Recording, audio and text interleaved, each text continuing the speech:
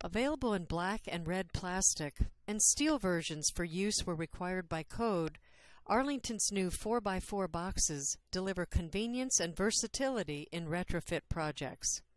They're perfect for installations of fire alarms or signaling devices. Half and three quarter inch knockouts, screw hole patterns for both 4x4 and 2 gang devices, and an adjustable steel bracket that holds the box securely against the wall make this box a great choice for retrofit. It fits wall thicknesses up to one and a quarter inches, but can be used for thicker walls by breaking the bracket along the perforated line. Why waste time and go through the hassle of modifying a 4 inch box to hold a device when Arlington's boxes deliver speed and versatility?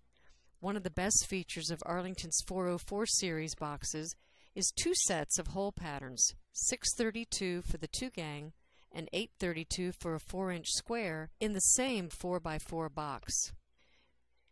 The advantage for you is saving more than 7 minutes and the hassle of modifying a single gang switch box by removing the ears, drilling, tapping, and installing them on a 4 inch box to finally get a 2 gang hole configuration. Installation is quick and easy. Determine the box location, level, and cut a 4 by 3 and 7 eighths inch hole. Then pull the cable and push it through the connector. Insert the box into the hole and tighten the screws. This pulls the steel bracket against the wall, holding the box securely in place. Next, install your fire alarm or your devices and finish by attaching the wall plate.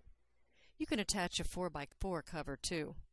With Arlington's FSR 404 retrofit box, modifications are unnecessary. It installs in 2 minutes 45 seconds. Arlington's 4x4 boxes in plastic and plated steel for retrofit.